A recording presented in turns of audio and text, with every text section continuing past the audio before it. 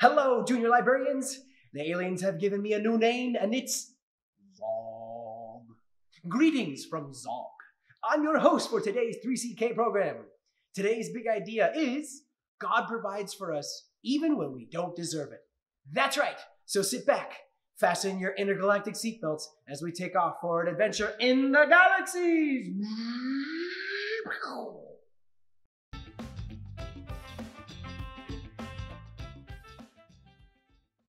Mom!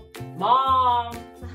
Gosh, Theo, I think you burst my eardrums. What's the matter? Look, there's no chocolate chips in my cookies. Didn't you notice? Mom! I just thought they were sugar cookies. They still taste great. Hmm, I wanted chocolate chip cookies. Uh, maybe we should just be thankful for freshly baked cookies, Theo. I just had my heart set on chocolate chip. Theo, you kind of sound like the Israelites right now. What do you mean? Remember when God rescued the Israelites from Pharaoh? Yeah. Here, God did this amazing miracle. Many miracles, and all they could do was complain about not having the same food they did when they were slaves. Uh, and you think I sound like that? Yep. But they whined and complained. Yep. Oh man, I hate it when you're right. Leave it to you to set me on the right path. Thanks, Sabrina. I love my mom, and I don't want to be a complainer. Good job, Theo. Hey, why don't you have a cookie? Thanks. Three Crosses Kids Preschool! Four hundred and eighty-six thousand nine hundred and eighty-nine. Four hundred and eighty-six thousand nine hundred and ninety. Ah, man, this is still not enough. Uh, what's going on here, Phil? Decided me, Miss Pauleen. Oh, I'm so sorry. But what's up with all the toilet paper and the sunflower seeds? Oh, I don't know if it'll run out while we're sheltering in place. So I took every sunflower seed back out the shelves and all the grocery stores nearby. Wow, uh, I can see that this is really worrying you, Phil. Maybe I should fly further. No, no, no, wait! First, I think it might be wise to do our message for today. Oh, okay. There are a lot of things that we can be worried about, especially lately, like not being able to see everyone we want to right away, or thinking that Christmas won't be the same as it was before, or even worrying that we don't have enough. Well, today's story tells us about people going through a very similar thing. Let's go to our book to see for ourselves. The Israelites were just rescued. Now they were walking in the desert wilderness. It was very hot. They were tired and they were so, so hungry. Instead of remembering all that God had done for them, well, they decided to grumble and complain. The Israelites said to them, to Moses and Aaron, We wish the Lord had put us to the death in Egypt. There we sat around pots of meat.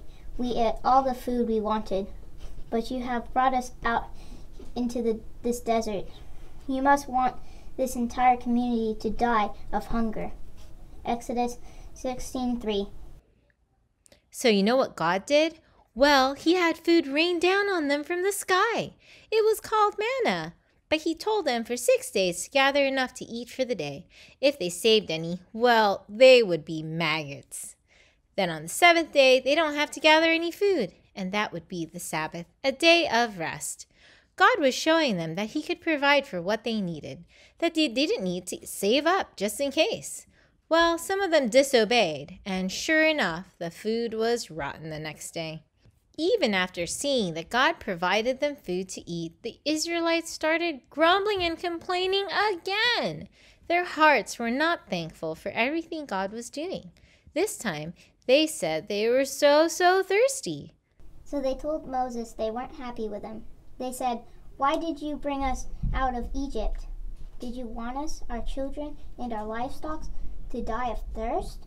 Exodus 17:3. God told Moses to strike a rock, and from it water would flow, enough for everyone. God's people didn't starve or die of thirst, but the people would forget so easily.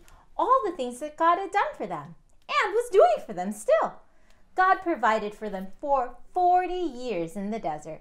Even though they grumbled and complained, He showed them grace by giving them exactly what they needed.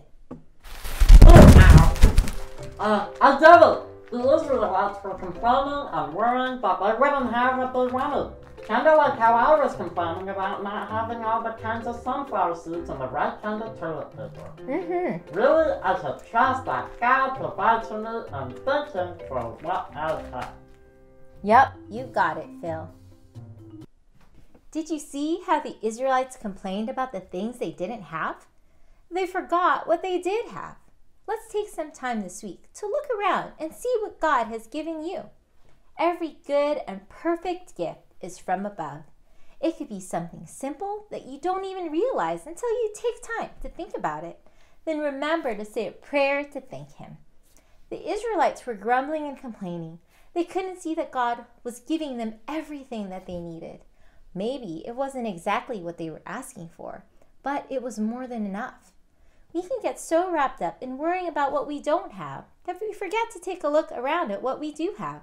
Today's story is a great reminder of our big idea of the week. God provides for us even when we don't deserve it. And you know what? This is also what Christmas is about. You mean God gives us things like goodies and candies and stuff? No, because God provided for us a Savior. God came down to earth to be a person just like us. He was Jesus, and He would pay the price for our sins. And God did this for us out of love, not because we deserved it. It's a free gift. That's our memory verse of the month. John 3:16. God so loved the world that he gave his one and only son. Anyone who believes in him will not die but will have eternal life. That is the real miracle of Christmas. Let's pray. Heavenly Father, I just want to thank you so much that you always provide for us, that whatever is happening in this world, we know that we can trust in you, Lord. Just as the Israelites were in the desert, you were there for them, you are here for us. Thank you so much for giving us Jesus, and let us remember what a miracle that was and what a special gift it is to have him, especially with Christmas coming up. And I pray all this in Jesus' name. Amen.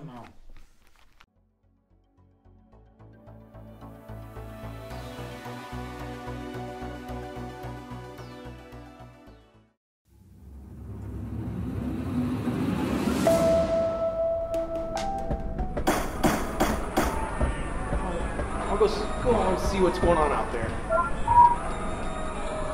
We're out of food! What do you plan to do about it? My children are starving, Moe. Look at them. Get back to the other side of the ship, Ursula, before I take you out.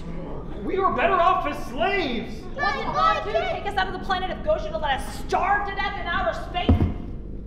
I'm hungry, mister. Ow! Why, you little Watch it, Moe. Mr. Moe, I got rumblings in my tummy. Well, I'll see what I can do, little one. I'll see what I can do.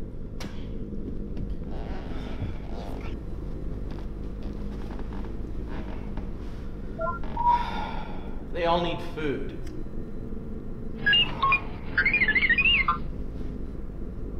It's a good idea. You fly, I'll pray.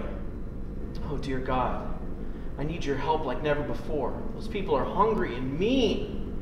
They're going to eat, start eating this whole shit before long. They're actually saying they'd rather be slaves. What am I going to do with them?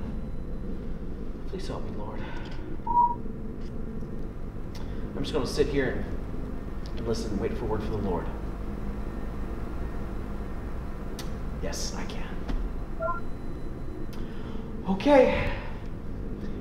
God's going to provide some food. Why are you back empty-handed? Just can I have your attention, please? Where's our food? Look, look, yeah, but if you just be quiet, just We for a moment. want food and we want it now! We Yes, food! please, just be a little quiet. Food! Food! Now hear this. God has instructed us. In the morning and in the evening, we are to go out and collect this food. That all we need for the day. Just no more, no less. If you take more than you need, it's going to spoil.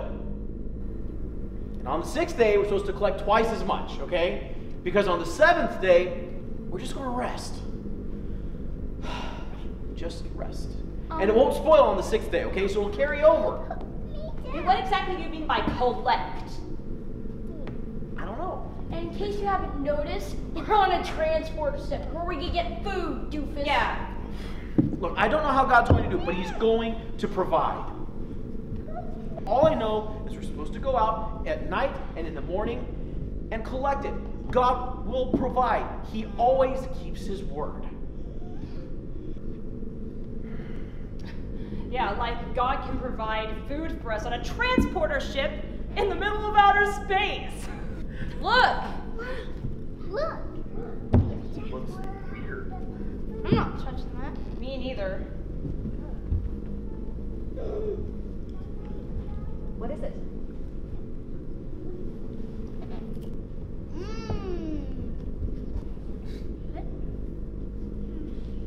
You, you, you try first. No.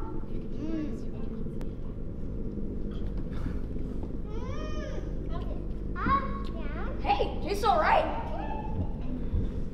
Tastes good. Very delicious. Mm.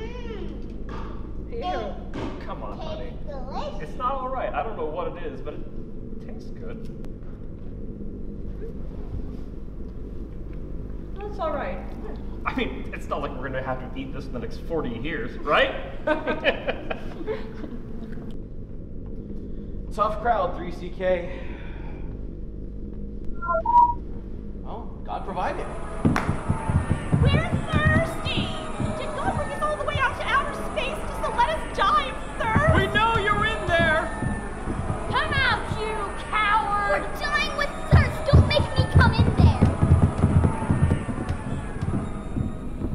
Next for the people of Goshen? Will they ever be satisfied with what God provides? Will they ever stop complaining? Join us next week for the final episode of Moe in Space. Thanks for watching today, Junior Space Rangers. I hope. Oh, hold on a minute.